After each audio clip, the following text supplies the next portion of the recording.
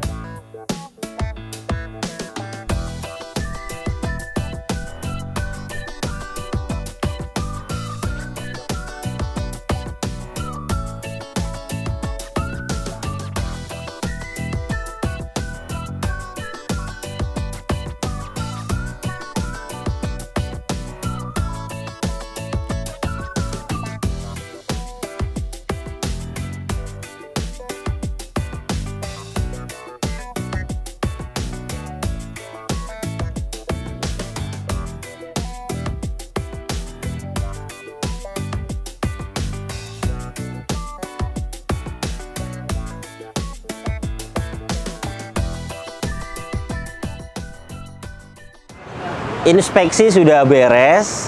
128 titik pengecekan sudah saya share kepada pemesan. Mobil ini layak sekali dibeli. Pertama tidak ada bekas tabrakan keras tidak bekas banjir dan tidak ada ciri-ciri kilometer diputar. Ketiga poin tersebut di mobil bekas. Itu sudah bagus sekali. Apalagi mobil tahun 2005 seperti ini rata-rata mobilnya tidak utuh.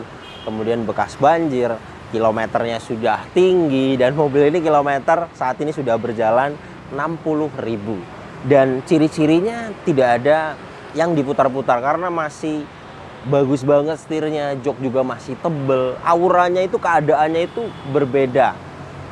Artinya mobil ini tidak ada ciri-ciri kilometer putaran. Untuk rapi-rapi sih pasti ada meskipun mobilnya kilometernya sangat rendah. Pasti yang namanya mobil bekas itu butuh dirapikan. Untuk rapi-rapi di mobil ini memang ada beberapa yang perlu diperbaiki. Untuk eksterior sebenarnya untuk body hanya ada lecet-lecet sedikit saja di bumper, di sela-sela pintu, di velg. Saya hitung ada 4 panel. 4 panel itu 2 juta. Dicat ulang yang lecet-lecet. Tapi overall tidak ada pecah parah. Artinya bagian ini kan bukan PR fatal dan bisa dilewat lumayan 2 juta. Karena tidak ada pecah parah. Poles sih perlu ada beberapa jamur baret halus itu bisa hilang di poles. Untuk jenis mobil besar seperti ini 700 ribu. Kemudian detail seperti headlamp kanan kiri sudah menguning perlu dipoles masuk ke spesialis lampu itu di 300 ribu. Kemudian mobil ini ban produksi di tahun 2000 2014, 2016, dan 2015. Jadi bermacam-macam dan sudah expired semua. Ketebalan juga di 2 mm dan itu sudah tipis. Jika ingin diganti dengan merek Dunlop seperti ini bawaannya 4 ban 4.200. Tapi di sini ada pilihan seperti merek GT Radial itu murah 4 ban perkiraan 3.500 dan untuk rapi-rapi semua ini bisa kami bereskan. Karena jika Anda pesan mobil di kami semuanya kita bantu mulai dari rapi-rapi. Mobil diurus sampai tidak ada PR baru dikirim. Kemudian detail seperti mika-mika lampu semuanya masih pada utuh. Liner fender kanan kiri utuh. Kampas rem bagian depan masih bagus hanya kampas rem bagian belakang sudah minta waktunya diganti. Untuk kampas rem kanan kiri berikut dengan pemasangan 500.000. Velg juga ada beberapa yang lecet tapi sudah termasuk 4 panel 2 juta itu. Kemudian untuk kaca film bagian belakang bagasi ada yang minta waktunya diganti. Untuk kaca film bagian depan atau belakang itu di 150 ribu. Mobil ini tidak ada bekas tabrakan keras tidak bekas banjir. Kemudian semua pilar-pilar juga utuh pegas hidrolik juga masih baik. Partisi ini juga masih disimpan biasanya sudah hilang ya. Ban serep juga semuanya sudah kita cek masih baik karet balon bagian belakang masih utuh dan rear cross member juga utuh jadi mobil ini tidak ada bekas tabrakan keras dari depan, samping, belakang, semuanya utuh. Untuk karet balon bagian driver yang minta waktunya diganti. Untuk karet balon itu 200 ribu. Yang lainnya masih bagus dan untuk semua pilar A, pilar B, pilar C, pilar D semuanya adalah titik pabrikannya jadi jelas mobilnya belum pernah ngeguling, belum pernah ada tabrakan keras dari samping karena semuanya utuh. Untuk mesin bagus,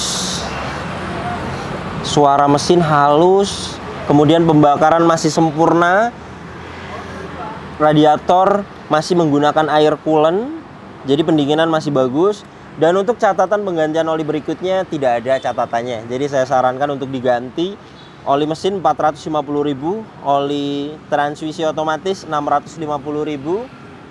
Dan untuk minyak rem masih bagus, oli power steering masih bagus, aki juga masih bagus.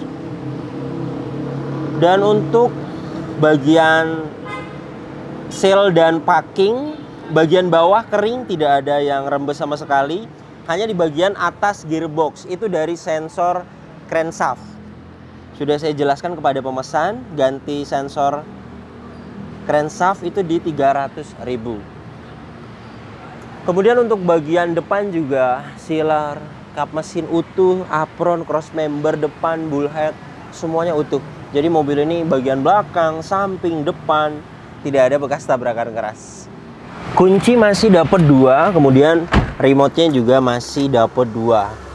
Remote-nya juga aktif dan untuk bagian kelistrikan juga sudah saya kirim.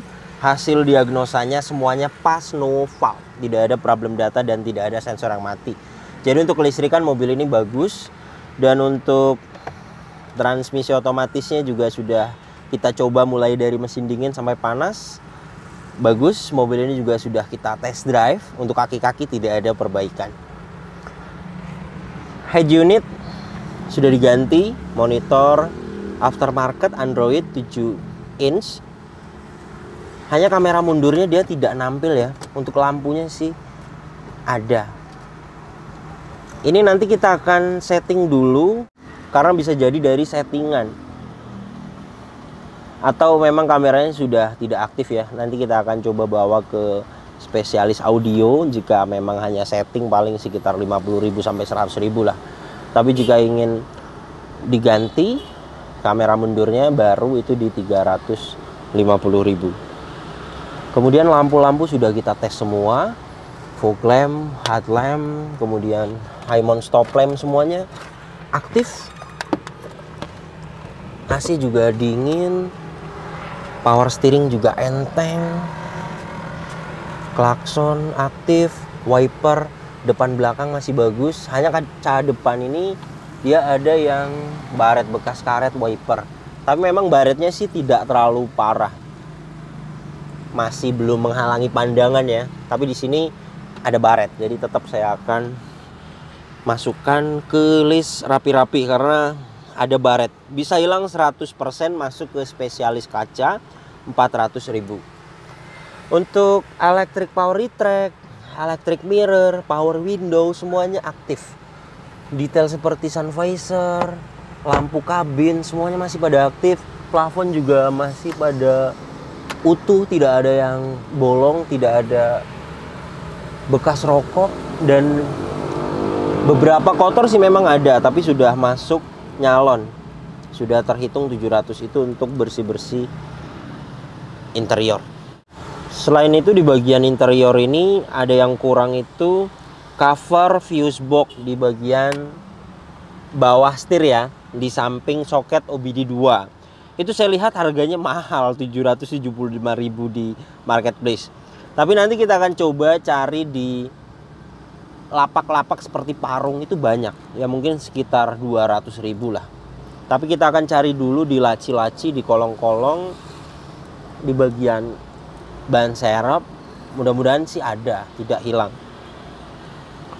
dan mobil ini sudah saya lihat foto BPKB serta fakturnya itu masih tangan pertama.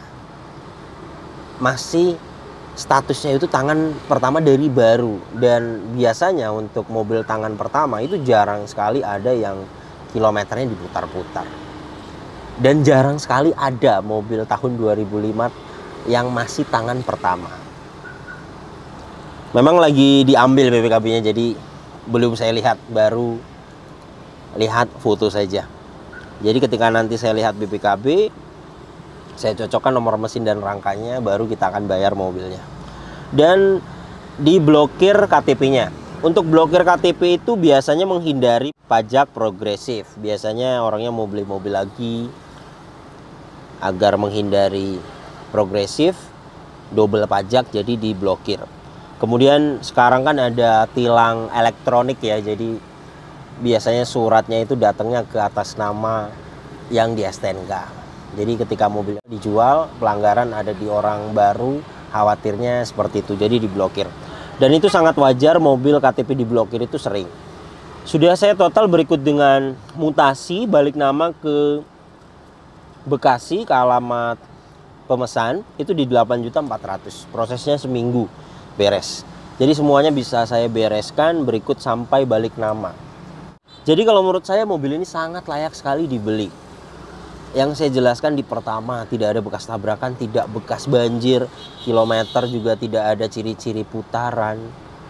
Ketiga poin tersebut di mobil bekas itu sudah bagus sekali dan poin bagusnya mobil ini masih tangan pertama.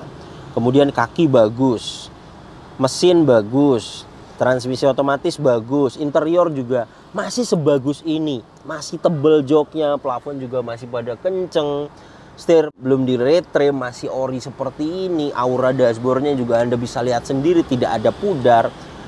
Kondisi seperti ini yang kita dapatkan itu yang di kilometer mobilnya rendah seperti ini jika kilometer sudah 200 ribu ya biasanya jok sudah pada kempes kemudian plafon sudah usang kemudian lagi setir sudah pada ngelupas-ngelupas kulitnya dashboard sudah kusam sudah pudar jadi aura itu berbeda dengan mobil kilometer rendah.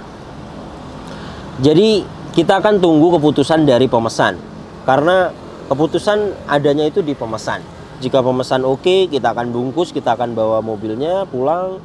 Jika pemesan masih cari yang kondisinya lebih baik daripada ini, ya kita masih siap balik kanan. Assalamualaikum. Waalaikumsalam, ya mas, gimana? Pengecekan sudah beres, Om Win. Ya, Video detail sudah saya jelasin, saya share ke Om ya, Nah, sekarang saya udah sama ownernya, namanya Om Oh. Andrian. Untuk harga kan pertama kali di iklan bukanya 85. Ya, 85. Nah, sebelum kita cek itu kan kita udah sempat nego, Ya. putus di harga 80, Iya. terus terakhir 76. Ya. Ya barangkali ini mah bisa kurang lagi, tapi memang udah nego sih. Langsung ngobrol aja sama Om Andrian. Halo, Om. ya. Ya mas, gimana Om? Gimana? kalau bisa turunin lagi mas.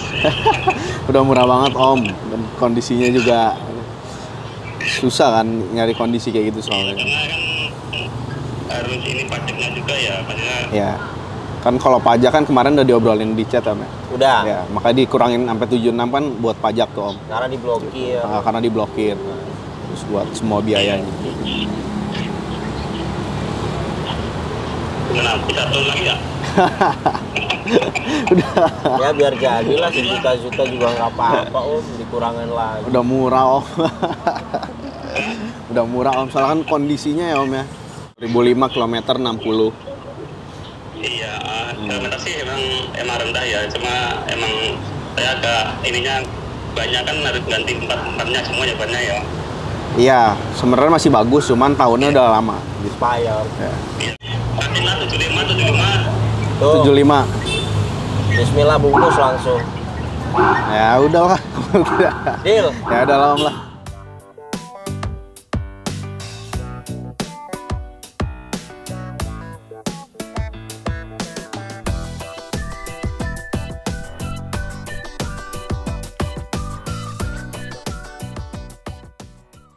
Alhamdulillah mobil pesanan Pak Winarto dari Bekasi sudah sampai di rumah. Untuk pembelian Anda juga sudah menyaksikan langsung 75 juta. Kemudian detail yang saya jelaskan PR di mobil ini berikut dengan jasa totalnya di 98 juta 750 ribu.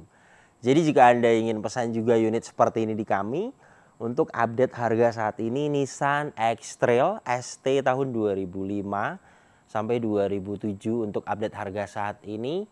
Unitnya yang seperti ini yang kilometernya rendah. Kemudian masih tangan pertama. Siapkan dana di 90 juta sampai 100 juta. Untuk harga mobil bekas tidak akan sama rata. Jika anda carinya yang biasa saja yang kilometernya standar mobil tahun 2005 dalam satu tahun pemakaian itu bisa di 15.000 sampai 20.000 harusnya mobil ini kilometernya sudah 250 ribu ke atas.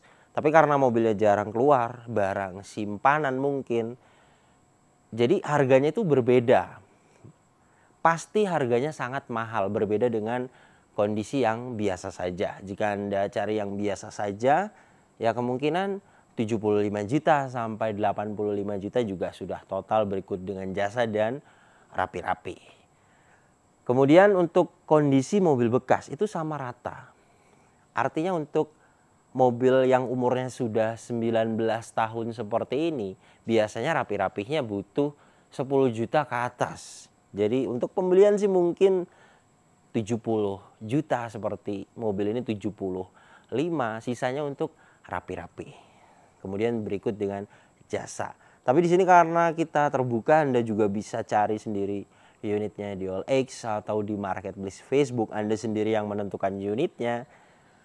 Anda sendiri yang nego langsung kepada owner bisa. Seperti mobil ini juga info dari kami seperti biasa di lokasi sebelum transaksi pasti kita akan persilahkan pemesan nego langsung kepada owner. Bisa terjadi jika Anda bisa nawar harga bisa dapat murah, kemudian lagi rejeki unitnya dapatnya PR-nya sedikit bisa terjadi.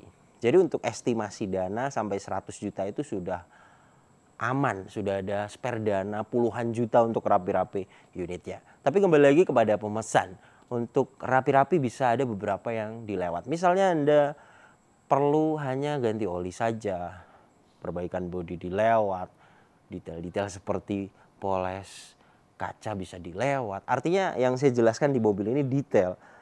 Itu beberapa banyak yang tidak fatal, bisa dilewat. Lumayan kan ada dana sisa. Jadi kami transparan. Anda bisa menentukan sendiri unitnya, Anda bisa cari informasi unitnya sendiri, Anda bisa menentukan sendiri budgetnya. Terima kasih banyak yang sudah menyaksikan video ini sampai habis. Jika Anda tertarik dengan channel ini dan ingin mengikuti video-video kami berikutnya, silakan Anda subscribe. Tekan juga loncengnya agar dapat notifikasi ketika kami upload video terbaru. Dan untuk seputar pertanyaan mobil bekas, misalnya Anda ingin pesan mobil apa di kami, budgetnya berapa, kemudian mobilnya apa yang dicari, silakan Anda follow Instagram saya. Di situ Anda bisa tanyakan di postingan terbaru karena saya akan balas di situ. Dan untuk kontak pemesanan bisa dilihat langsung kontaknya ada di sini. Ingat nomor ini hanya ada satu yang saya pajang di video YouTube ini dan di bio Instagram. Tidak ada nomor lagi, hanya ada nomor ini saja. Hati-hati dalam berbelanja online. Kemudian selain kita terima jasa pencarian mobil bekas seperti ini, kami juga ada unit ready yang kami jual. Unit ready semuanya sudah kita bereskan PR-nya. Jadi mobil yang kami jual di sini itu sudah melewati proses inspeksi 128 titik. Kemudian rata-rata sudah kami rapikan. Jadi Anda tinggal pakai saja. Jika Anda tertarik dengan unit ready, Anda bisa cek di profil YouTube kami di situ Anda video-video unit ready. Silakan disimak barangkali Anda tertarik. Selain itu juga kami bisa bantu pasarkan unit. Jadi di channel ini kami bisa bantu review mobil anda. Misalnya mobilnya mau dijual, bisa kami pasarkan di channel ini. Silahkan Anda WhatsApp, nanti saya akan jelaskan prosesnya. Oke, terima kasih banyak. Sampai berjumpa di video saya selanjutnya.